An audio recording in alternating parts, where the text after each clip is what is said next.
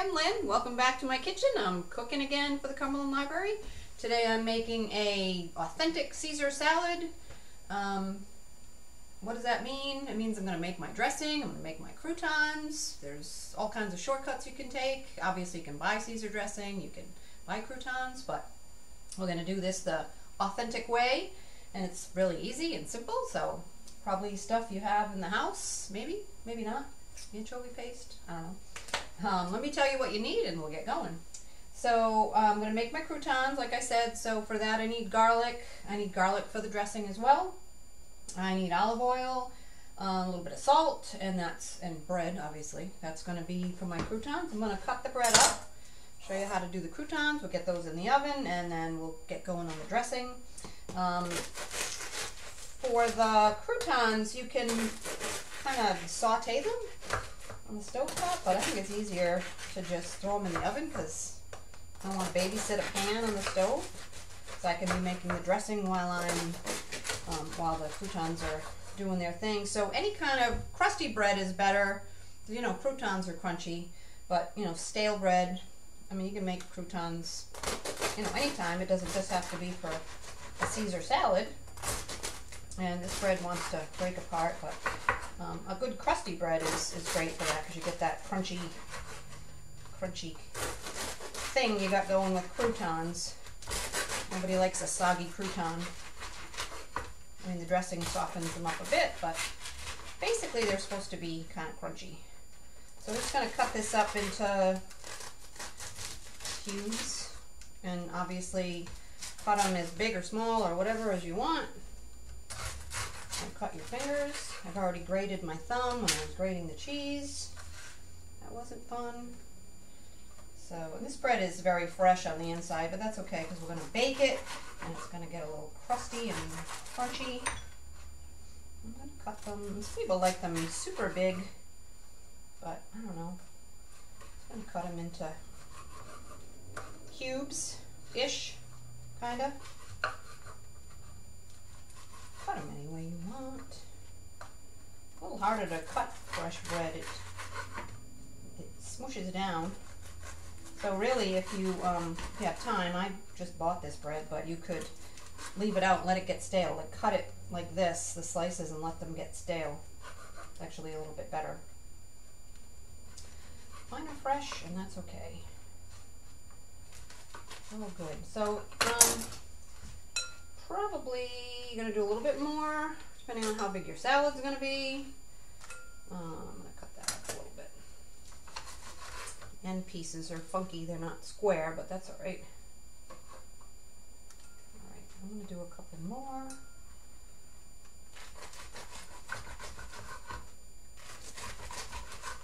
Nothing difficult about it. Toss that in Nothing like homemade croutons. And, you know, when you're making croutons, you can put whatever you want for seasoning. This is just going to have garlic, olive oil, and salt. But you can make them however you wish. Make extra. You can use the end. I'm cut one more. This bread is really good for toast. Love it. Alright, that should be plenty. Use any bread you want. Just like I said, let it get stale. All right, so got our, our bread here. You could cut it up and let it get stale as well. So I'm going to do some olive oil, a couple tablespoons. The garlic's already in the bottom, so I already minced the garlic. I chopped it up real fine. I already put it in the bottom of the bowl. So that's done. Nobody needs to watch me chop garlic. Probably seen that a few times if you've watched my videos. You do, you know that I like to chop it. I don't like to use a gadget because I'm not a gadget person. I'm just going to do some salt. not measuring because I don't usually measure. I'm just going to toss it and check out whether it looks like it's coated enough with the olive oil, which it doesn't look like it is. So you just want to look at it and make sure it looks like everything's coated because the olive oil will give it flavor and also help it to brown in the oven. So that looks good. Plus the garlic's all on the bottom, but that's all right. Toss it around until everything's coated and we're just gonna dump it onto our sheet pan. Like I said, you can do it on the stove top if you want. Just put it in a dry pan and um, saute it till it looks crispy and brown. All right. I'm gonna get that in the oven. Mess. I'm gonna steal a paper towel from the lettuce because I didn't bring a towel over, which is not smart. Um, I'm gonna get that in the oven. I've got 375. I'm gonna do it for about eight minutes. I'm gonna keep an eye on it, but we can be making our dressing in the meantime. Be right back.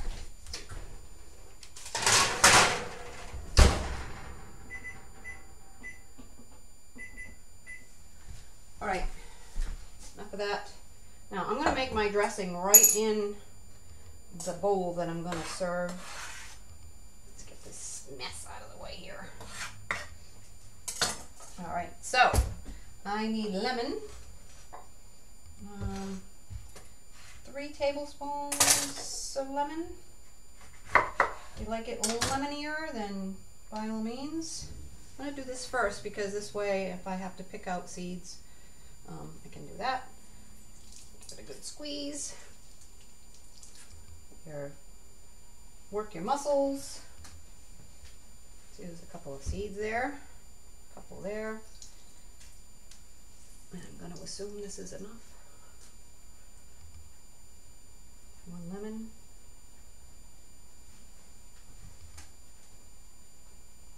I'll try to squeeze a little more out of it. Oh, it's dripping down my arm. I didn't say it was neat. I said it was easy. Alright, that should be good. Once again, I need to get a towel. Alright. So then I'm going to put my garlic in. So this is two cloves of garlic here. So you need three in total. Throw that in there. And I need about what do I need? I gotta look at my little recipe over here because I can't memorize everything and I need a cup. I always forget something. What is up with that? Alright, olive oil. Half a cup.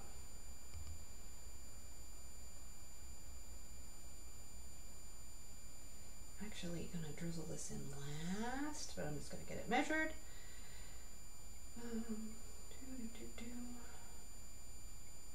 Wow, I should have taken the top off because that's like watching paint dry. Okay, put that aside. Let's do the egg yolks next. I don't want whites, I want yolks. So, do it over a bowl. Get rid of your whites. Get your yolks in there. That's one.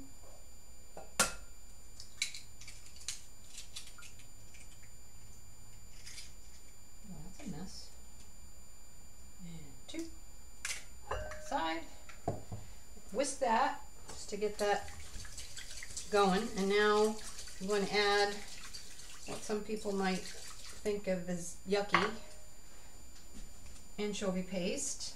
Um, you can add, you can use anchovies and cut them up. Put that in there too. That's also authentic, if you will. I'm going to use a tablespoon The top part's always a little liquidy. You don't want to come out. Come on. Anchovy paste is good for, you know, different things, stir fries, to it, it adds like a salty bite. Um, and some people are just weirded out about what it is, but this one doesn't want to come out. Come on, little guys. Wow. Very thick. It doesn't want to come out. Why? What's wrong with you? Getting there. While I fight with this. Talk amongst yourselves. It's coming out, but what the heck? Very strange. Let's try that. Maybe I didn't make the hole big enough. This is why when you watch a cooking show, they have everything pre-measured. But I don't have a staff, you know? All right, get that in there. Whisk it around. Get it all incorporated. It's a little lumpy. Very lumpy.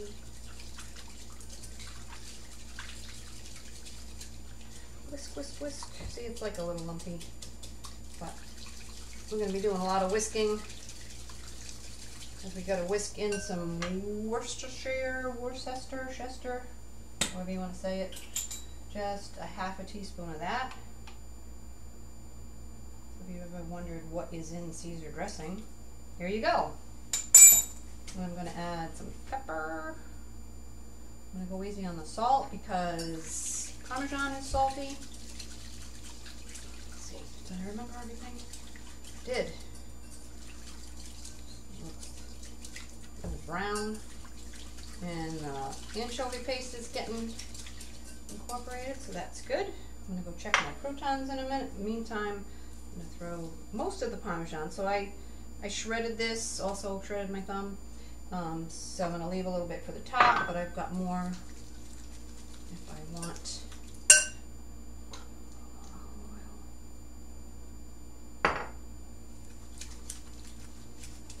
Okay, and you can use the grated Parmesan or whatever.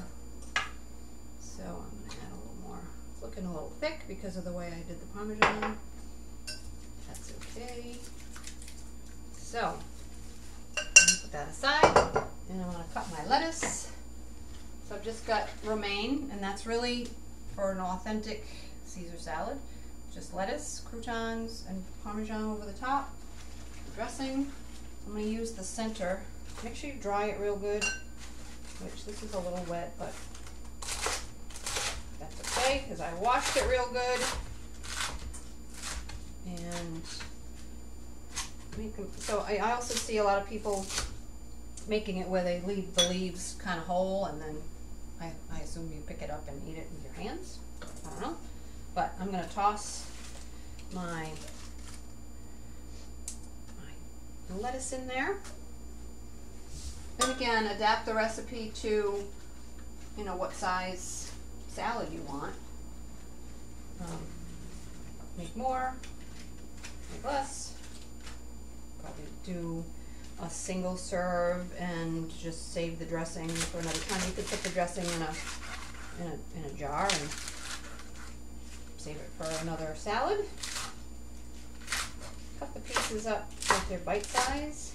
I like romaine. It's my favorite. It holds together. It stands up to all kinds of dressing. And then I'm just going to give it a toss.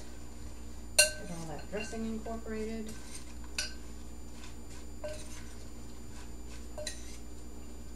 It's already looking yummy and smelling yummy. I'm gonna go check on my croutons.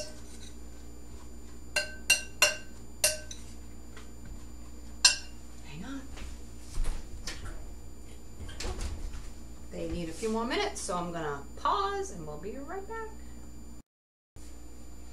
All right, I'm going to change the name of this show to see if you can figure out what mistake I made this time.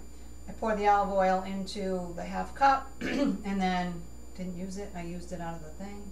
Whatever. It's a half cup of olive oil. Anyway, I put olive oil in there. It's all good. Hard to do this by yourself, but I'm doing the best I can. Anyway, my croutons are out. They're cool enough to throw on the salad, so I'm going to do that. Toss them on top.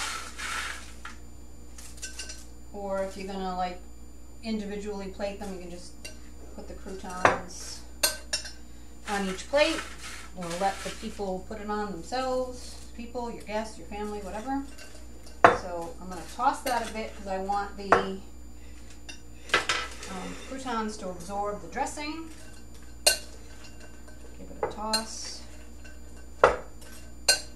And um, I tasted it and the anchovy paste is salty, so and so is Parmesan, so I didn't add any salt. I added a little salt to the croutons themselves, but just very little, a quarter teaspoon.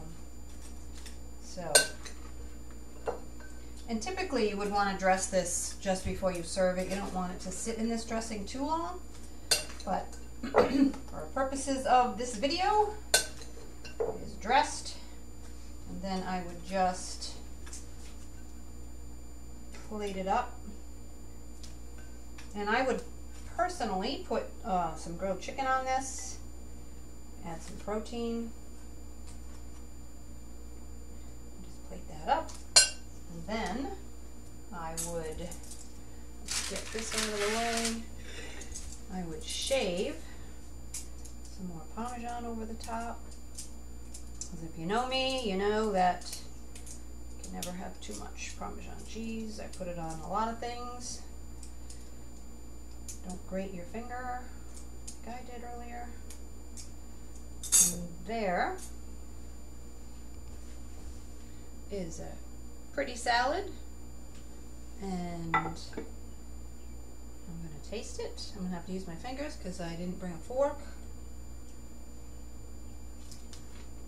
Mmm, very good. Just salty enough, so don't add any salt. Taste my croutons. Mmm, nice and crispy and crunchy. Little hint of garlic. Teeny bit of salt. Super yummy. Plus cheese. It's the best part. All right, so make yourself a Caesar salad. Throw some protein on it or serve it as a side dish. It's great for summer. It's salad season. Um, it was super hot over the weekend and we didn't feel like cooking anything hot, so a salad is perfect. And this is a great one, and I think lots of people like it. It's very popular. So serve it to your guests and come back again and see me. All right, what am I doing in June? I am doing pulled pork nachos and a no-bake strawberry cheesecake. So come back and see me again. I look forward to seeing you.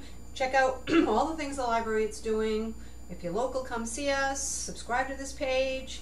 Check out our Facebook page, cumberlandlibrary.org.